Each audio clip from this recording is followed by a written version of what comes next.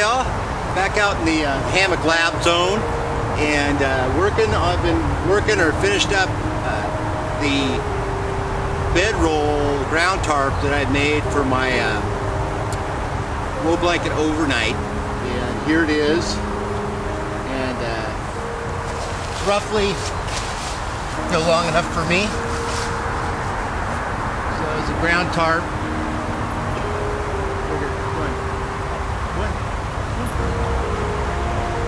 Sit. Down. Down. Down. Down. Good girl. Okay, so as a ground tarp, Trigger, sit down. Down. As a ground tarp, it is uh, no long enough for me to, to lay on just the ground tarp. And for the bushcraft um,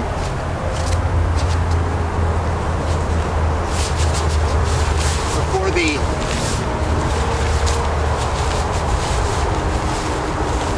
wool blanket overnight. I made this I attached this other piece of cloth to it. So it would be a, a bedroll. Uh, this is what I had for that that overnight that I did. Uh, it's made out of Cordura 200 Cordura. Uh, definitely got a burn hole in it from that night. But what I've done, I've gone a little bit further. So now I want to show you what we can do.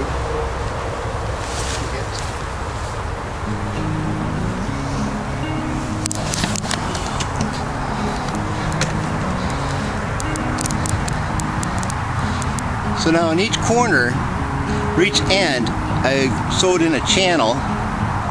So this is the short end, so there's a channel there, and then there's a channel that runs down the length and a channel on that end and a channel that runs down the whole length there.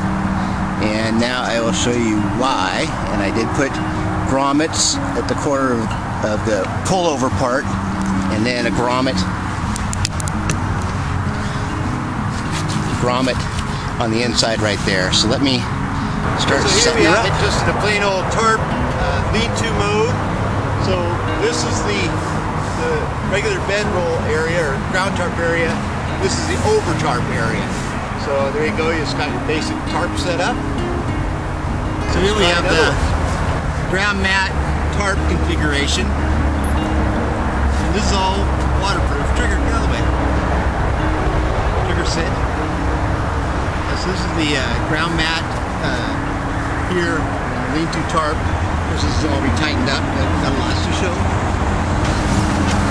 All right, now here we have the uh, little rain fly over the top. Still plenty of room in here. Um, this is where I was thinking it might be kind of fun to make it even, add even more onto it, make it more of a Whelen lean when I get it fully configured. I have some side flaps and things like that, so your basic setup. I can see using this one, most definitely. So let's try another one. So I really don't have the uh, stuff I'm just here in my backyard hammock.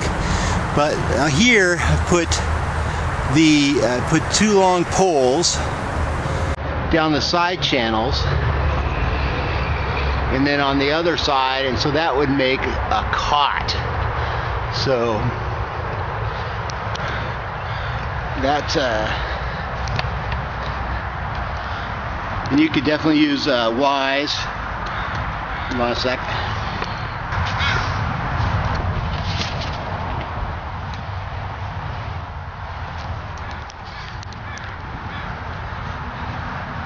So yeah, so you can definitely use a Y, uh, pound that into the ground, and then you can make it as, as level as you want. Uh, definitely want to get a Y that's pretty strong. It's got a nice straight shot because this will be the pounding end. But um, so that would be the the cot, or you could put it on a log and stake it out. You could just lift it up somehow and stake them separated. But there you've got a cot. So that's uh, another one. All right, let's do another one.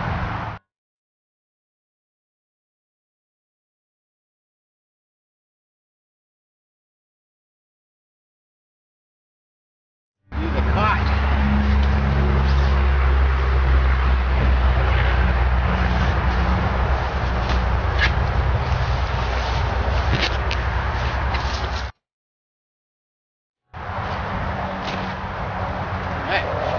Again.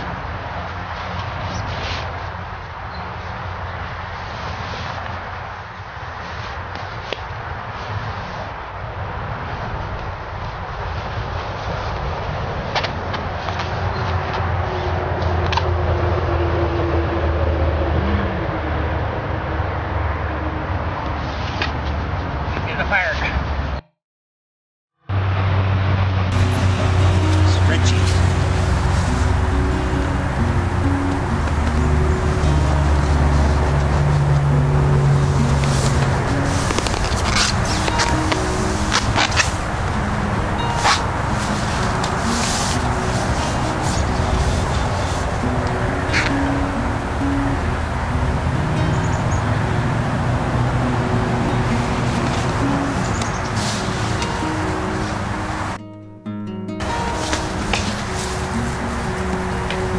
Well, there you go. I've got to stop playing with my my newest thing that I'm working on, but um, got to go back to work. I thought you guys might uh, like to see kind of the development when I'm working on different projects of where I am. I think, um, especially on that one, I got that from so Dave um, Canterbury and Duluth Trading. They got together and they made something very similar to that. Um, I've added my own twist to it, of course, but it's something that uh, Horace Kephart had come up with, and so um, definitely finding out that Cordura's a little stretchier than I thought it would be. I thought it'd be a little tighter, and uh, probably get some tighter, more static line. Um, and then the the sticks I was using in the end for the for the hammock part, uh, they're for my cooking tripod over the fire and I need to cut some down that are actually the right length and notch them. Um, I was using a clove hitch notch and maybe work on that a little bit. That seemed to slip and adjust too much. So I'll keep working on it, but I thought you guys might enjoy um, seeing Bruce working away on his ideas. So uh, take care. Talk to y'all later. Bye.